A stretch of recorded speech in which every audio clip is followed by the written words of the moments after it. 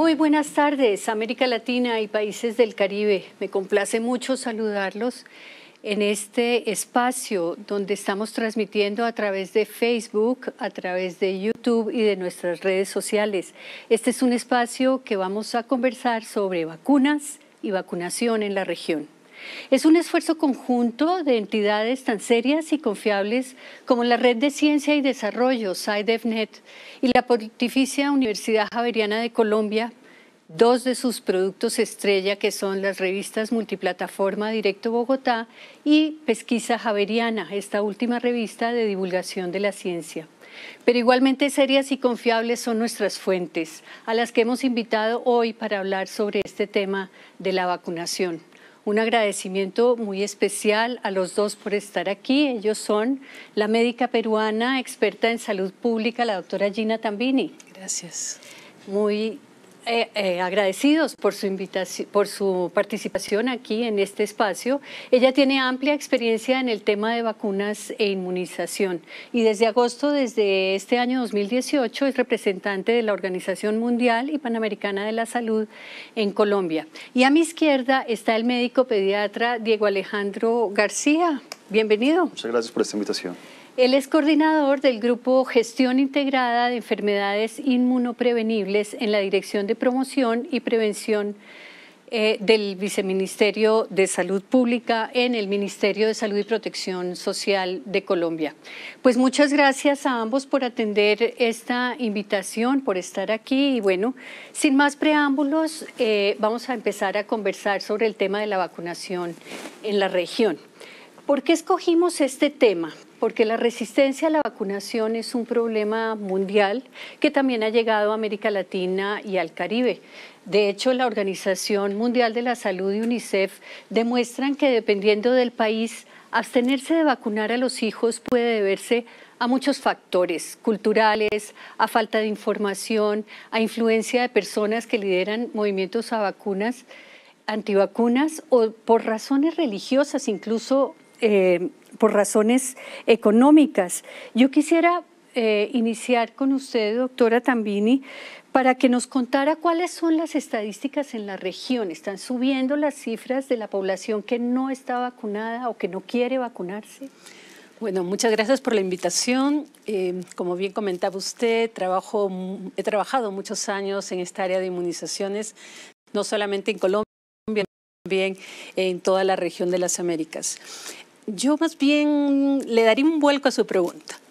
Eh, yo creo que hay que más bien resaltar el beneficio de las vacunas y resaltar lo que ha sido posible en la región de las Américas. La región de las Américas es un líder mundial en términos a em, los logros que se han alcanzado. Podemos decir que a nivel eh, mundial y también regional, las coberturas de vacunación con las vacunas que se incluyen en los esquemas de vacunación nacional alcanzan más de un 85%. Y hemos logrado, sobre todo en esta región de las Américas, erradicar enfermedades, o sea, ya no tener esos eh, virus eh, que pueden ocasionar una enfermedad, como es el caso de la polio, poliomielitis. De la misma forma lo logramos con el sarampión, la rubiola, la rubiola congénita y hasta la misma eliminación del tétanos neonatal. Pero yo creo que van, van a haber varias preguntas en este momento en relación a cómo estamos en el momento. Pero eso quiere decir entonces que estamos muy bien en América Latina, ¿no han descendido las, las cifras? Eh, a nivel, digamos, regional, sí, como le digo, son, son coberturas de, de, un 85%, sí, pero por supuesto hay una variedad, hay una variedad entre países y dentro de los países también, dependiendo de los territorios y también de la unidad territorial más pequeña como son los municipios, distritos, cantones. Listo, doctor García, del Ministerio de Protección Social y de Salud. Eh, ¿Son las vacunas la mejor herramienta para prevenir enfermedades? Así es, Lisbeth. Creo que eso ha estado demostrado eh, por la ciencia. La Organización Mundial de la Salud Panamericana la sido muy clara en eso. Se estima que alrededor entre 2 y 3 millones de muertes se evitan alrededor del mundo anualmente gracias a las vacunas. Gracias a esto también hablamos que la vacunación es la segunda, por decirlo así, estrategia más costo efectiva en la prevención de enfermedades después del agua potable. Gracias a eso realmente estamos ofreciendo en nuestro país un esquema de vacunación que tiene 21 vacunas que protegen contra cerca de 26 enfermedades completamente gratis a toda la población colombiana para garantizar una adecuada protección en todas ellas. Ustedes Hablan de la ciencia y de la importancia de la ciencia. ¿Qué es eso de la evidencia científica? ¿Quién de ustedes dos quisiera contestarme? ¿Qué tan importante es la evidencia científica? Bueno, sí, puedo comenzar y por supuesto después el doctor García reforzar esta pregunta. Eh, sí, las intervenciones en salud que promovemos sobre todo desde la Organización Mundial de la Salud y desde la Organización Panamericana de la Salud están basadas en, evidencia. Eh, ¿Esto qué quiere decir? Eh, son datos contundentes que se obtienen a través de investigaciones, a través de estudios que se realizan en diferentes poblaciones, países, en los cuales se demuestra, en este caso específico, que la vacuna es la más costo eficaz, intervención en salud. Podemos evitar muertes, podemos evitar enfermedades y lo que implica también ahorros en lo que es la inversión en salud. También nos da la tranquilidad de que estamos utilizando en la población la mejor tecnología disponible en el mercado internacional. De esa forma, con toda la evidencia que tenemos en el mundo, con todo el tema de vacunación, podemos estar tranquilos de que estamos ofreciendo a nuestra población colombiana en general, a la población alrededor del mundo, las mejores vacunas disponibles en los mercados internacionales.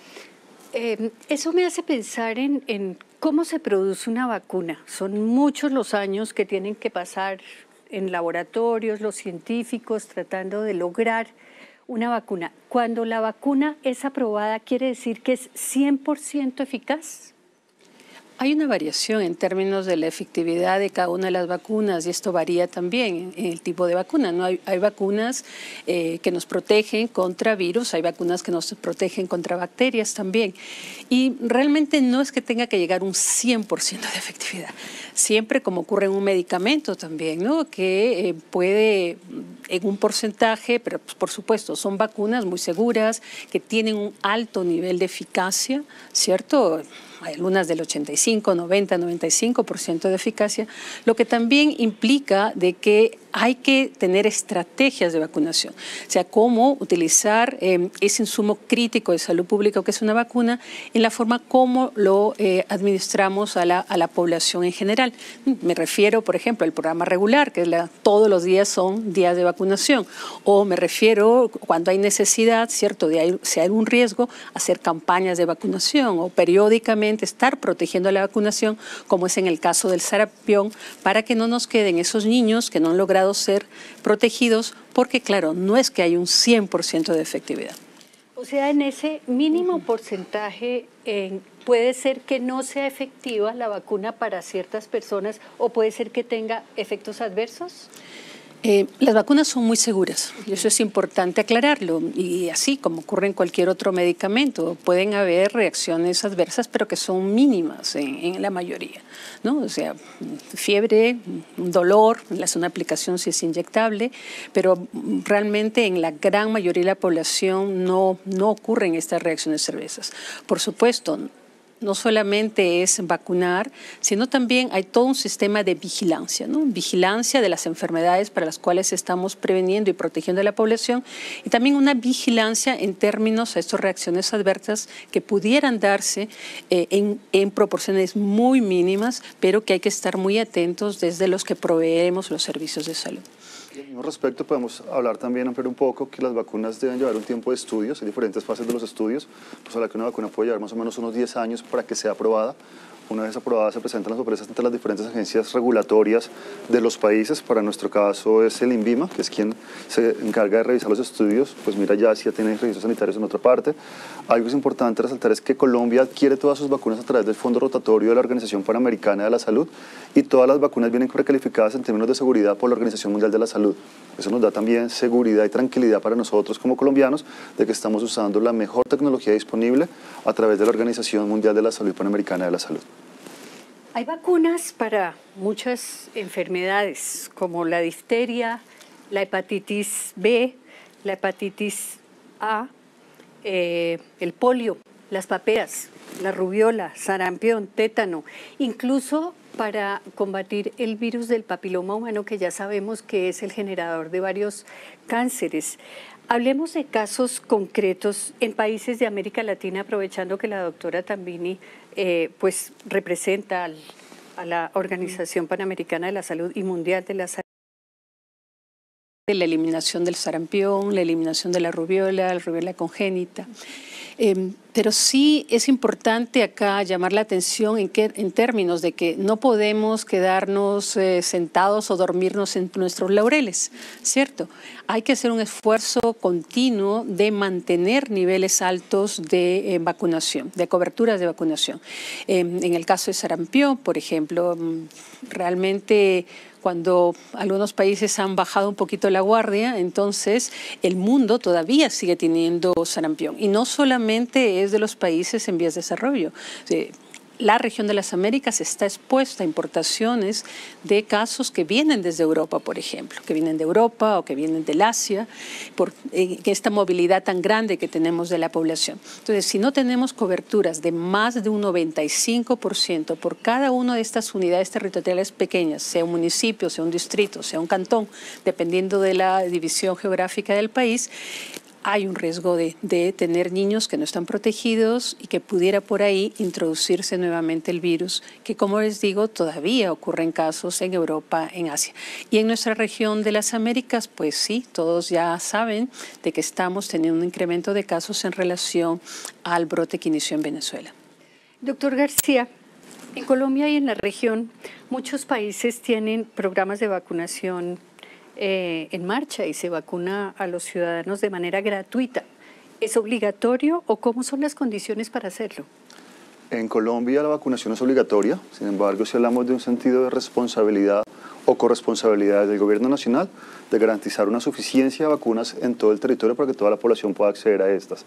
Y por parte de la población, también una corresponsabilidad de conocer adecuadamente cuál es la importancia de vacunar a sus niños para que acudan oportunamente a vacunarlos. Uno habla de que hay un sentimiento ya inherente a la vacunación porque la familia va voluntariamente al servicio de vacunación en busca de este servicio y lo estamos ofertando en el país. Diríamos que todos los días del año siempre hay puntos de vacunación disponibles, por menos de, de, lunes a sábado, domingos en algunos pueblos también donde sabemos que es como el día de mercado, hay que hacer también actividades de vacunación, hacemos jornadas de vacunación. Además, adicionales, hemos hecho realmente un despliegue grande desde el gobierno nacional para poder garantizar un programa de vacunación bastante completo, no obligatorio, pero sí se percibe, se acepta muy bien. Las coberturas de vacunación hoy día están alrededor del 95% en el país. Eso nos ha dado también un, sentido de tranquilidad con toda la importación de casos que ha habido de sarampión a la región. Eh, por el flujo de población migrante también, hemos tenido población migrante que ha estado llegando, hemos tenido nuevamente casos de sarampión en el país, pero realmente muy limitados si los comparamos con cifras como las que están viviéndose actualmente en Venezuela o en Brasil, donde las cifras ascienden a más de 2.000 casos, nosotros tenemos alrededor de 180 casos únicamente hoy día, entonces realmente sí hemos estado haciendo un esfuerzo importante para poder garantizar con que la vacunación no es obligatoria, la población colombiana sí percibe muy bien el programa de vacunación, son los programas mejor aceptados por parte de la población colombiana y acude con sus niños en las fechas en que hay que vacunarles, que son ocho momentos. Es importante también recordarlo. En Colombia hay que ir a vacunar eh, al nacer, a los dos, a los cuatro, a los seis, a los siete meses, al año, al año y medio de los cinco años. Y adicionalmente también tenemos vacunas para la población adulta, mujeres en gestación y, y población de riesgo. Publicidad política de Colombia. O sea que Colombia es un líder en la región, diría usted. Podríamos decir lo que sí hemos venido realizando una introducción también rápida de, vacunas. Contamos con uno de los esquemas de vacunación más completos en la región de las Américas en estos momentos. 21 eh, vacunas, que es un esquema muy completo. Mm, si una persona fuera al servicio privado a vacunarse, se le puede costar alrededor de unos 2 millones de pesos muy barato el, esquema de vacunación, lo estamos ofreciendo completamente gratis a toda la población colombiana en todos los cerca de 2.600 puntos de vacunación que tenemos habilitados en todo el país. Doctora Tambini, ¿qué otro país en la región de América Latina y el Caribe está con esos buenos resultados? Muy fuerte de, yo diría, la totalidad de los países, por supuesto. Unos a veces avanzan más rápido que otros, unos tienen coberturas mayores de 85 a nivel nacional, otras también ya pasando el 90, el 90%, sí, y otros todavía que hay que ponerle un esfuerzo más grande porque están por alcanzar ese 80% a nivel nacional. Em, los países del Caribe es un ejemplo realmente en el trabajo para lograr coberturas de más de un 95% a nivel nacional por los, por los últimos años años y fueron los primeros en asumir la meta de la eliminación del sarampión en todos los países del Caribe. Bueno, de ahí seguimos los países andinos también poniéndose esta meta y fue razón, mire que es muy curioso, eso yo creo que fue como el año 2000 en el que hubo uno de los últimos casos en Venezuela y ahí todos los países del andinos unidos en Sucre, eh, estaba yo presente también, tomaron la decisión con la Organización Panamericana de la Salud de asumir esta meta de eliminar el sarampión y de ahí también comienzan las semanas de vacunación en las Américas, que es un momento también muy oportuno, una semana de abril para poner muy alto este tema de la importancia que tienen las vacunas para proteger a los niños, a las niñas y a la población en general, porque como bien lo decía el doctor García, y ahora el esquema de vacunación cubre también otros grupos de edad. La gente por lo general cree en las vacunas y está convencida de que para prevenir enfermedades en sus hijos y, bueno, en, en, la población en general hay que vacunar. Pero vayamos a casos donde los rumores a veces le ganan a la evidencia científica y es el caso que no solamente pasó en Colombia, pasó también en otros países, incluso en países como Dinamarca, como Islandia, que uno diría eh, que se sorprende uno, con el virus del papiloma humano. ¿Cómo, para cualquiera de los dos, cómo hacer que la evidencia científica prime sobre el rumor? Es importante resaltar que la Organización Mundial de la Salud tiene un Comité Consultivo Mundial de Seguridad de Vacunas, comité que analiza periódicamente, no solamente con la vacuna contra el VPH, sino con las diferentes vacunas que hay, cualquier evento adverso que pueda relacionarse. Hasta el momento este comité se mantiene seguro en continuar recomendando la vacunación contra el VPH con toda la seguridad posible. No se ha asociado realmente ningún evento adverso grave, pueden haber algunas efectos adversos leves como dolor en el sitio de aplicación de la vacuna, malestar general, enrojecimiento, pero realmente no se ha atribuido ninguna enfermedad grave a la aplicación de la vacuna contra el BPH o con ninguna otra vacuna. Entonces realmente la Organización Mundial de la Salud se ha mantenido tranquila en eso, el Comité Mundial de Seguridad de Vacunas eh, también, y creo que la doctora también puede ampliar un poco más ese tema que es de Organización Mundial de la Salud. Eh, sí, Creo que es, un, es importante el trabajo conjunto que tenemos que hacer, no solamente de los que, están, que son los responsables en términos de prestar estos servicios a la población, como son el caso de los ministerios de, salud, sino también cómo trabajamos con los otros sectores, ¿no? En el tema de educación, por ejemplo, el Ministerio de Educación, de que el saber de que una vacuna es un beneficio para los niños tiene que también estar incluido dentro de esos currículos de la escuela y trabajar con los comunicadores, trabajar con los periodistas, eh, con los editores de los medios importantes de comunicación, para que también ellos puedan apoyarnos a que se informe, se eduque, se comunique de una forma correcta a la población. Porque si no tenemos esa información, puede muy rápidamente crearse una situación de, preocupación, crearse eh, eventos que, no están relacionados a la vacuna, pero que pueden magnificarse y crear realmente un pánico como, como ocurrió en esos países que usted mencionaba. Entonces es eso. Así es. Mi, impresión es que em, todo lo que tiene que ver con esos rumores, los movimientos antivacuna, aquellas voceros que no tienen estarían... H, ¿no? C4 eso, ese cambio en el comportamiento, en las actitudes de la población. O sea, no solamente el hecho de propagar una noticia, propagar una información, sino también cómo hacemos que a través de la comunicación podemos hacer cambiar los hábitos, las prácticas de la población y en este sentido que toda la población, y Colombia ha sido un pionero en eso, en crear la cultura de la vacunación. O sea, que todo poblador de este país reconozca que la vacuna es beneficiosa para la salud de esos niños, donde comenzamos las, los esquemas de vacunación, y también para todos los grupos de edad, porque ahora hay vacunas para diferentes grupos de edad. Cuando, cuando, empezaste a formular la pregunta, estaba pensando precisamente en lo que tú dijiste. Es más fácil tocar a veces las emociones, los sentimientos que la razón. Los movimientos antivacunas van a las emociones, al amarillismo, al sensacionalismo, por decirlo así, pero a nosotros nos toca la parte dura, lidiar con la razón de la gente, darle argumentos realmente válidos orientarlos hacia dónde buscar una información válida. A veces la gente consulta en internet en internet lo que pasa es que la gente se desinforma hay mucha basura, entonces también el mensaje que hemos venido dando desde el gobierno nacional, desde las sociedades científicas, porque trabajamos de la mano con la Sociedad Colombiana de Pediatría, la Asociación Colombiana de Infectología, de Ginecología, de Medicina Interna, de Neonatología, o sea, con toda la sociedad científica, con la Academia Nacional de Medicina, para que la gente pueda también acceder a las páginas de esas sociedades académicas y científicas, a la página de la Organización Mundial de la Salud Panamericana, o sea, que accedan a, a la ciencia realmente y que puedan encontrar en estas páginas argumentos válidos que los ayuden también, también trabajando de la mano con asociaciones de padres de familias. Con Red Papás hemos también trabajado en algunos momentos para poder también llegar a la familia con los líderes comunitarios. Tenemos un ejército de social, por decirlo así. Trabajamos con las ONGs, con todos los líderes comunitarios que tienen, con Familias en Acción, con Red Unidos, con ICBF, para poder también capacitar a todas estas personas que están en contacto con las comunidades directamente, dándoles herramientas que sean válidas y con las cuales puedan también ellos convencer a las familias de la importancia de vacunarlos. Yo diría que en Colombia no tenemos mucho ese problema, o sea, no tenemos una cultura de no vacunación, la cultura se controla de vacunar a los niños. Eh, no hay un movimiento antivacunas fuerte en el país, creo que eso también es muy claro dejarlo, dejarlo sobre la mesa, no hay un movimiento claro antivacunas ni fuerte, pueden haber algunas personas antivacunas que han estado moviendo el tema.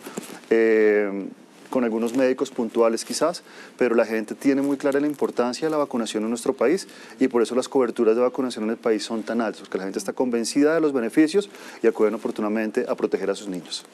El doctor García nos comentaba de la cantidad de muertes que se han evitado gracias a las vacunas. Y ahí yo quisiera hacer una pregunta de tipo eh, económico. ¿Hay alguna investigación que nos diga si es más costoso o qué es más económico, vacunar o tratar enfermedades? Es importante porque cuando nosotros estamos trabajando en vacunación y cuando vamos a hacer la introducción de una vacuna, lo, recomienda lo que recomienda la Organización Panamericana de la Salud es hacer estudios de costo-efectividad. El estudio de costo-efectividad precisamente me, me evalúa eso. ¿Cuánto cuesta la intervención de vacunar un grupo de población versus cuánto me costaría sencillamente dejar que esa población se enfermara? Cuando yo hablo de que una, una intervención, una vacuna, una vacuna es costo-efectiva, es porque realmente supera el umbral del beneficio versus lo que me costaría pagar la enfermedad como tal. Entonces, Todas las últimas vacunas que hemos venido introduciendo en el país han estado respaldadas por estudios de costo-efectividad. Generalmente esos estudios los, ha realizado la Universidad Nacional de Colombia. Tenemos todo ese aval y realmente sabemos que estamos haciendo intervenciones donde la, el recurso económico, que aunque es grande en vacunación, este año estamos invirtiendo alrededor de 350 mil millones de pesos desde el gobierno nacional solamente para la compra de vacunas. El gobierno Duque ya ha apropiado alrededor de 385 mil millones para el año entrante para poder garantizar todo el esquema de vacunación completo ya desde ya presupuesto del año entrante. Entonces realmente, aunque tenemos un presupuesto limitado, sí realmente hemos podido garantizar que, la, que con ese recurso estamos llevando la mejor vacuna a la población y la mejor estrategia de vacunación. Lice, si me permites también comentar en, relación a la región. En la, en la región de las Américas, 41 de los 51 países y territorios ya han introducido estas nuevas vacunas, ¿no? Vacunas como la vacuna contra el neumococo, vacuna contra el rotavirus o la misma vacuna contra el virus eh, humano en el papiloma. Y em, para esto, 16 mm, países eh, hicieron eh, estudios previos a la introducción de estas vacunas, así también 13 países adicionales lo hicieron ya posterior a, la introducción.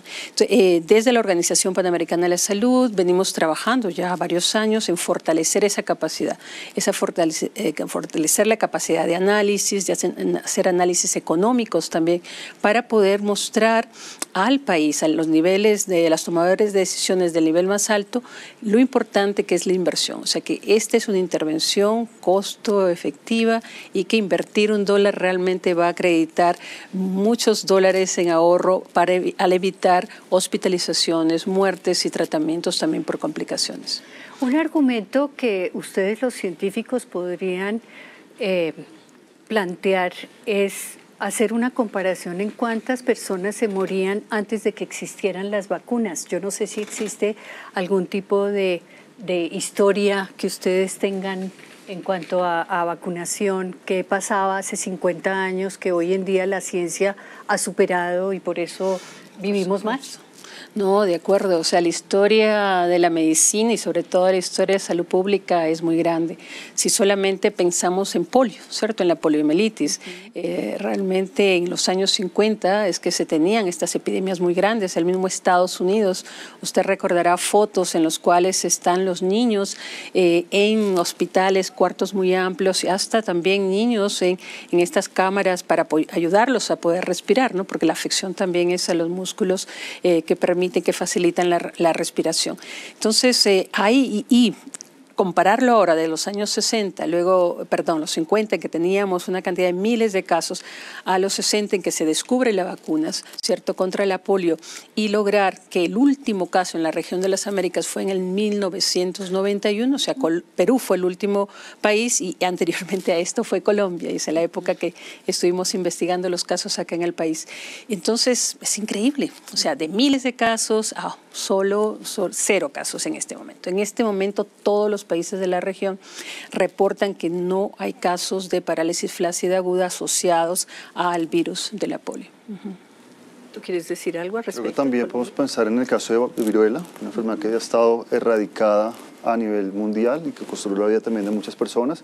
Y más recientemente sarampión. Sarampión también ha sido una enfermedad que se ha eliminado en la región de las Américas. No tenemos casos autóctonos de sarampión actualmente en el país, aunque tenemos casos importados, continuamos fortaleciendo las acciones para no tener casos autóctonos y controlar el brote actual que tenemos en algunas zonas del país. Y una pregunta que a mí como comunicadora y como periodista me interesa mucho, ¿cómo es la relación de ustedes con sus oficinas de comunicación? Eh, en la Organización Panamericana tenemos todo un departamento de comunicación y como les comentaba, se está buscando ahora darle un impulso muy fuerte a lo que es comunicación para la salud, sobre todo en detectar esas historias, historias de vida, donde las intervenciones en salud han cambiado una situación. O sea, una niña en, digamos, de población indígena que al recibir una vacuna se evita que tenga el sarampión, que en poblaciones indígenas puede llevarlos a la muerte, por ejemplo. Hemos venido fortaleciendo todas las diferentes estrategias de comunicación para llevar un mensaje a la población colombiana, pero podemos decir que el mejor mensaje ha sido el mensaje persona a persona en vacunación. En vacunación la gente lo tiene muy claro, las comunidades lo tienen claro, los padres lo tienen claro y entre ellos mismos incluso hablan al respecto.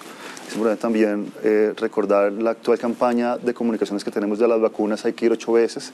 Hay una vaca cantando que sale en televisión, yo creo que mucha gente hoy día tiene esa imagen en la cabeza de la vaca, los niños tararean el, single de, ese comercial de televisión que se mantiene todavía vigente, entonces hemos tratado de continuar con eso, pero necesitamos fortalecer mucho más el trabajo con los periodistas, con los medios de comunicación, porque son nuestro mejor portavoz, nuestro mejor vocero y la mejor forma de poder llegar rápidamente a la población colombiana con este importante mensaje de vacunación.